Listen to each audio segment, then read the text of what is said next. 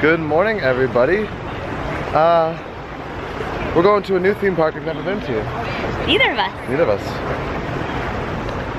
We are at SeaWorld Orlando. Look at this picturesqueness. Look at that. Those are not real. But look at these waves. Why are they doing this? It looks like there's two orcas over there, or dolphins. They don't look like orcas. I'm super excited.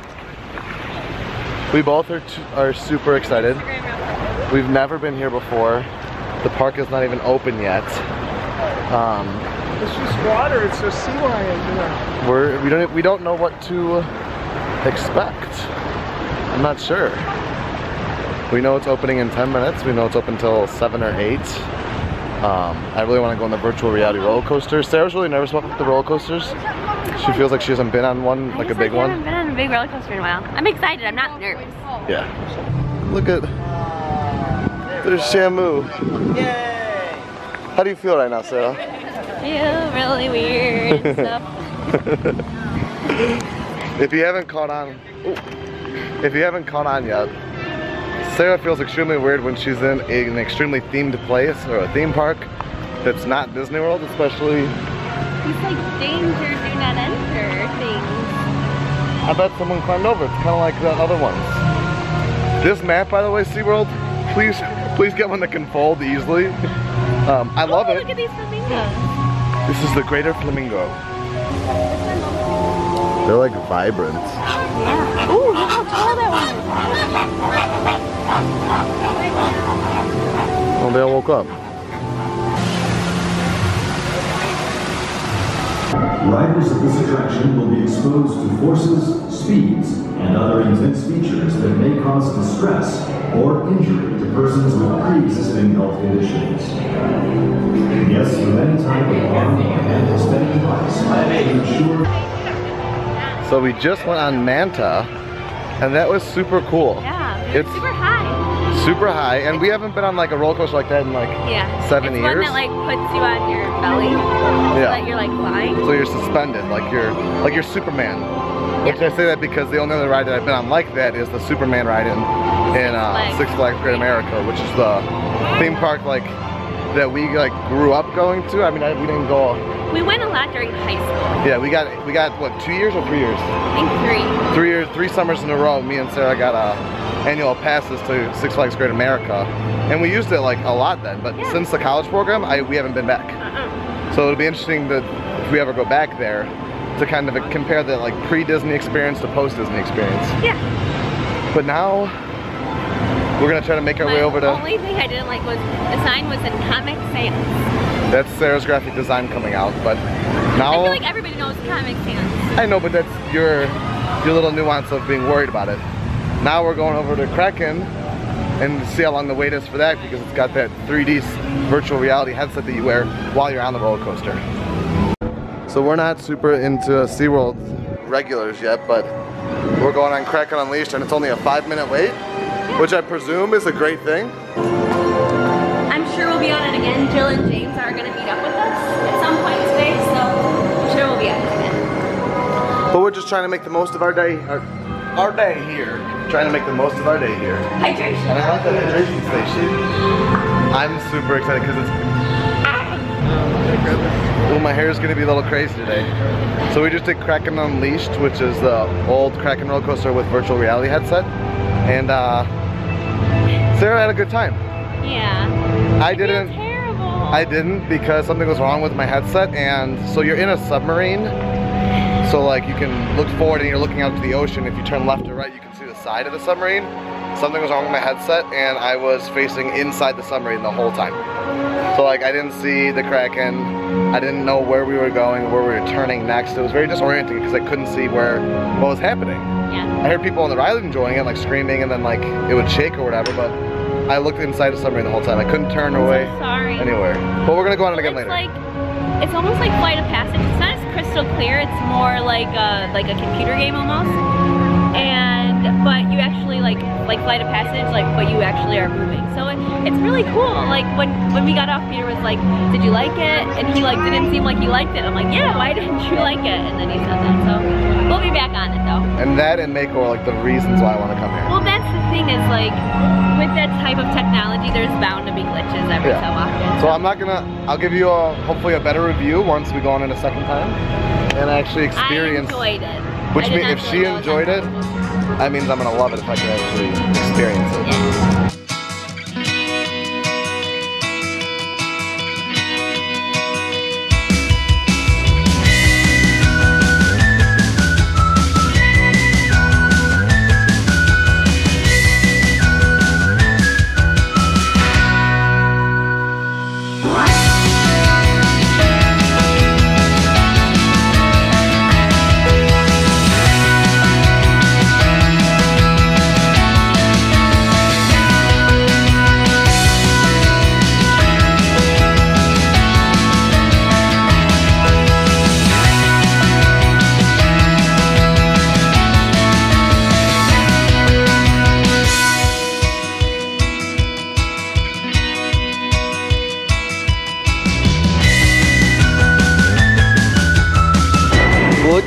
Feels like back at home.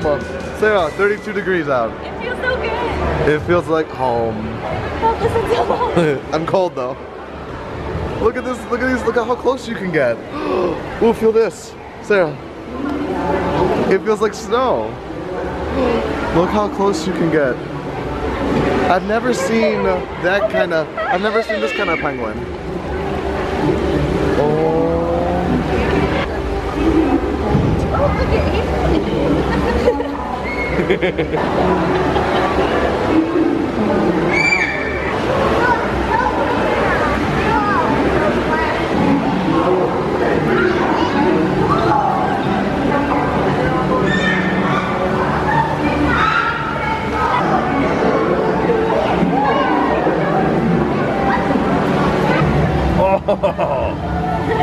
I haven't looked under here yet.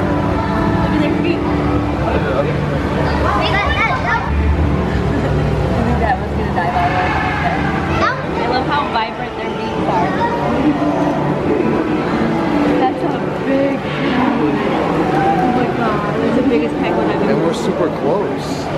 I know, I thought this was one. Everybody, she's getting kicked out.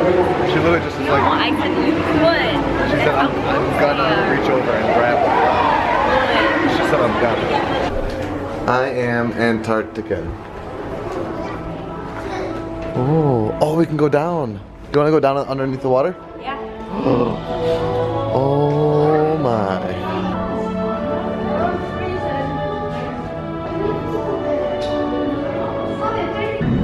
Spotted ya. This is what Sarah. Relax. This is what Sa- that's what Sarah would be if she was an animal. Yes. I agree. You would just kind of lounge all day Maybe long. that's my Patronus. I always wondered what my Patronus So we just got off. Oh, there's one. There's a big one over there talking. Um, we just got off the Empire, Empire of the Penguins ride. Mm-hmm. What did you think of it? I, I did it. It was it was awesome. So it was like a more like a ride through.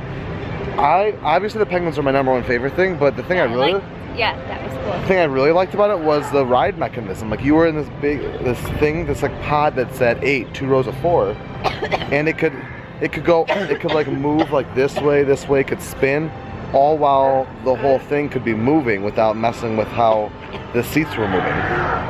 Super cool. Hi. You see the balloon? Yeah. I think he's sleepy. I think that's your favorite animal right there. That specific one, that little baby. My rock, my rock. Ooh, that was cool. Is he chasing him? Yeah. Get him. Did you find us? Um, I know it's almost Halloween and then it's gonna kick right into Christmas time, but check out all these Christmas trees. Let us know down below what what they do during Christmas time here and if it's worth if we should come back and check it out. I hear some some bing banging going on over here.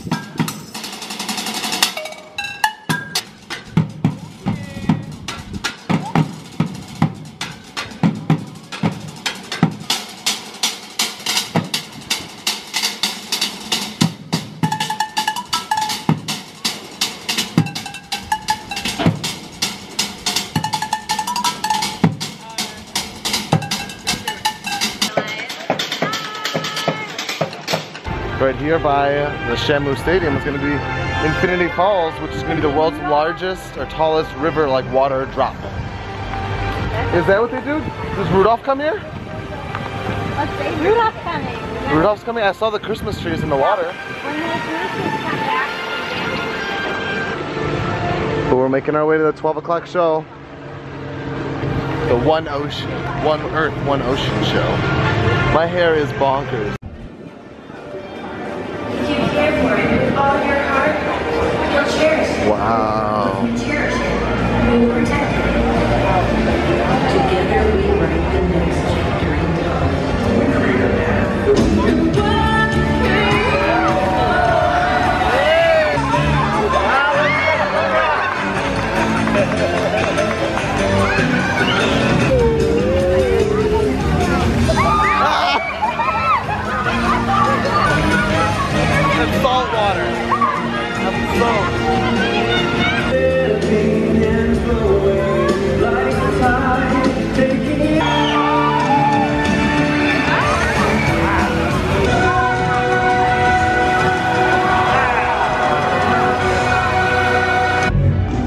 Just left the One Ocean show. It was incredible. Those are magnificently huge and beautiful animals. Yeah. It's a little bit weary going into it. Yeah. Um, I mean, I really, I don't know what to say about it. It was like they are really incredible. The relationships between the trainers and the animals are incredible. Now we're going on Mako. The biggest reason why I wanted to come here. What is this, like the longest, tallest, fastest, bestest roller coaster? I've been so excited to go on this. So. Okay, Mako, which was like the biggest thing I wanted to come to here for. Besides like the Kraken VR was exciting, but I really wanted to come here for Mako ever since they started constructing it and Tim Tracker was always here talking about it. It is so good. And we've got the Raging Bull at the Six Flags Great America. But that's like just like the one big, big drop. This is incredible.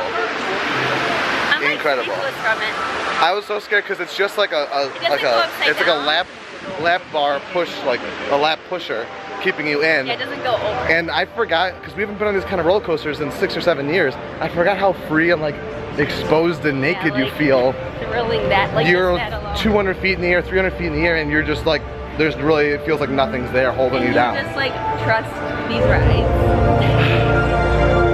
Mako was great. And we walked on the first time, and now like there's only one ride between you going on and getting on. Like going up there, you wait one ride, then get on. We got really good with times today. Guys, I think I'm getting old. Uh-huh. We said before, like it's been six or seven years since we went on roller coasters like this. We've gone on four if you count Mako. We've done Manta, Kraken, Mako twice. We'll probably do Kraken again so I can try to do the VR, the normal headset, but I have a splitting headache.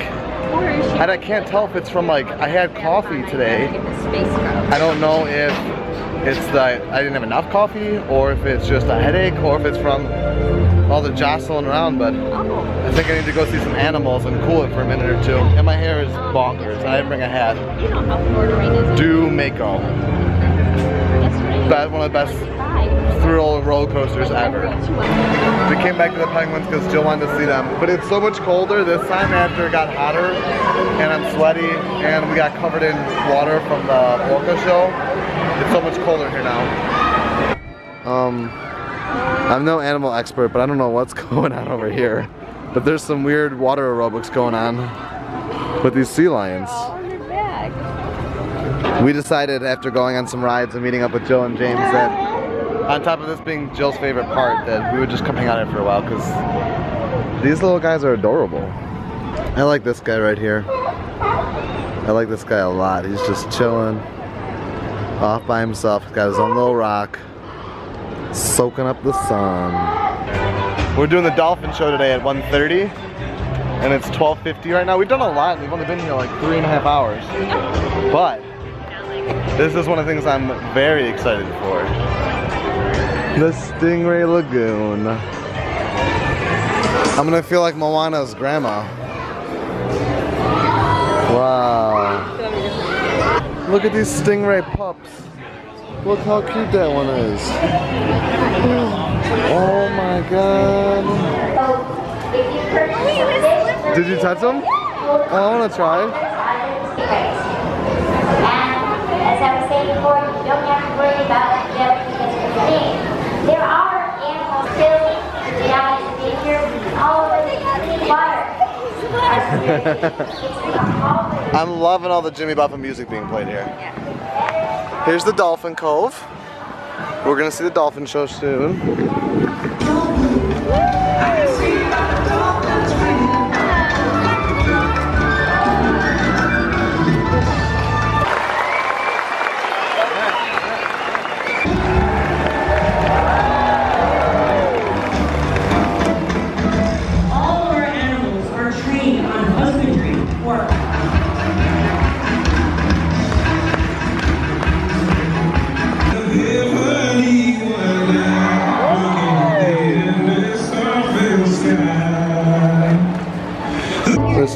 Straight out of Nemo is what Sarah was trying to say.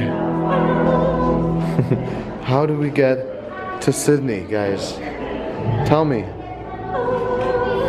Wait. Sarah, does that freak you out a little bit? Like Sarah gets freaked out by really big things. Big buildings, big animals. it's just like hard to believe it's real. Yeah. That's a living thing right there. Oh. So this is a cool rehabilitation center for the manatees and they rescue them and bring them here. There was that one that looked really sick but we found out that she was hit by a boat and has a punctured lung and she's on a lot of painkillers and medication right now. And she looked like she was in rough shape but they're like no she's gonna be fine like they only bring animals that they it's sad as sad as it is like they only bring animals here that they can save to not waste not waste but not use resources on animals that they know wouldn't be able to be rescued. So we saw like five or six manatees up there that you know, those ones will be re rehabilitated and released. Whereas the ones over here that we saw, like that one, are permanent residents of SeaWorld. Well, where they will stay here forever. It's super nice. Yeah. It's it's hard because you obviously hear and see different things about SeaWorld, but there is a lot of good that this organization does do. And that the future is good. Maybe not everything that happened in the past was great, but now they're they're working for it. Right. And it's another thing of like education and, and inspiration. Like Jill is a loves animals and conservation and everything. And what if there wasn't a place in some capacity like this?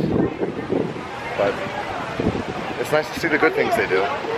Because I'm like four years old, I'm forcing all of our grown-ups, because we're only grown-ups here, forcing them to bring me to the trick-or-treat section. Because it's Halloween time and you gotta go trick-or-treating.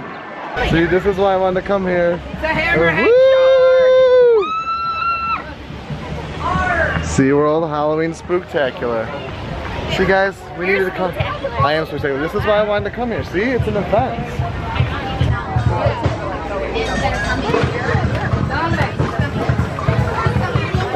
Thank you. All right, we got our bags. Spooktacular awaits. Trick or treat. Woo! Thank you. Good. How are you? Well, thank you for asking. Happy Halloween. Halloween, guys. It's just condiments. Trick or treat. I want a honey mustard. Enter here. Trick or treat. Thank you, Marcus. Appreciate it. Hello. Oh, there's a line. Alright, here's my blunt, honest review of Halloween Spooktacular from SeaWorld. Everybody needs to go for the candy. We just got so much candy. It's like this thing is half full. And they gave us king size, some new Oreo candy chocolate bar. So it's like a chocolate bar with crushed up Oreo inside it. They gave like each of us. Yes, they gave each of us like six. So that was amazing. And this is all included in your admission to the park, except for the, the games. The games are five for 20, but the, the trick-or-treating, the whole area, the little, there's a dance party with special characters. There all like roller skating roller skating goldfish, creatures. all included in your park admission. Definitely. I was surprised. Is it, did they do this like Christmas too, Jill? Do you know? I think they do, like, I think some sort of, there's something here. They do some sort of Christmas thing? Yeah. Let me know down below if they do a Christmas thing that's that's like spectacular because we'll have to come back for Christmas if that's the case. Hey everybody, until I decide what hat I'm gonna wear, this is what we're dealing with. We are home from SeaWorld. We've actually been home for quite some time now, maybe like four hours. But we went out to eat with Jill and James uh, because we hadn't seen them in a while. And we came home and I had like a food baby, so I just like fell asleep on the ground. Sarah's trying to rest right now from that cough, but we've she was working on some designs. I was playing with the dog and sleeping. And now we're trying to decide if we feel up for going to Magic Kingdom tonight or not, or if we're just gonna kind of lay low. But I wanted to show you. I don't know if this one's mine. I think this one's Sarah's. Wanted to show you the candy we got from the Spooktacular at SeaWorld. And I wanted to thank them for uh, letting us come out and see that park for our first time. This is what we got. I don't. I think it was because of how hot it was that they had like six giant boxes of these, king size, two bars there. They gave each of us six, six of these. Ridiculous. And then we got other stuff like these gummies, Twizzlers. Online, I said there was gonna be Junior Mints, but I didn't see them, and I don't. I'm, I thought we did the whole uh, like, trick or treating trail, but maybe we didn't. But then we had M&Ms and everything else.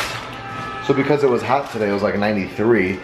These bad boys have been in the freezer, so I gotta have one now that they're nice and frozen. I will say that the roller coasters were amazing there.